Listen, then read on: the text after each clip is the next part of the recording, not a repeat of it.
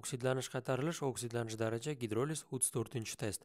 Uglerod to'rt oksidi qaysi modda bilan reaksiyaga kirishganda oksidlovchi xossani namoyon qiladi? Demak uglerod to'rt oksidi qaysi modda bilan reaksiyaga kirishganda oksidlovchi xossani namoyon qiladi? Magniy oksid bilan reaksiyaga kirishsa agar a variantida olib qaraymiz oksidlanish qaytarilish reaksiyasi bo'lmaydi. Magniy karbonat hosil bo'lishi mumkin. Bu yerda hech qanaqa oksidlanish qaytarilish reaksiyasi sodir bo'lmaydi. Agar karbonat angidrid b variantiga qaraymiz. Suv bilan reaksiyaga kirishsa demak ma'lum miqdorda karbonat kislota hosil bo'lishi mumkin. Oksidlanish qaytarilish reaksiyasi sodir bo'lmaydi. Karbonat angidrid agar magniy bilan reaksiyaga kirishsa demak bunda oksidlanish qaytarilish reaksiyasi bo'lishi mumkin. Magniy oksidi va so hosil bo'ladi. Demak bu yerda oksidlanish qaytarilish bo'ladi.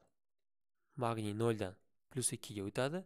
Uglerod plyus to'rtdan plyus ikkiga o'tadi demak ushbu reaksiyani oksidlanish qaytarilish reaksiyasi deyishimiz mumkin yoki agar magniy ortiqcha miqdorda bo'lsa reaksiya boshqacha sodir bo'lishi mumkin magniy oksidi plyus uglerod ko'rinishida ham sodir bo'lishi mumkin ya'ni mana bu hosil bo'lgan so bilan ham yana magniy ta'sirlashib ushbu ko'rinishda ham reaksiya borgan bo'lishi mumkin bu ham baribir oksidlanish qaytarilish chunki plyus to'rtdan nolga o'tsa yoki plyus noldan plyus ikkiga o'tsa ham oksidlanish qaytarilish reaksiyasi bo'ladi.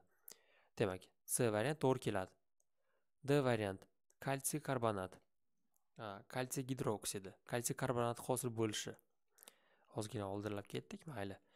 Ho'p karbonat angidrid qo'shilganda kalsiy gidroksidga kalsiy karbonat hosil bo'ladi va suv.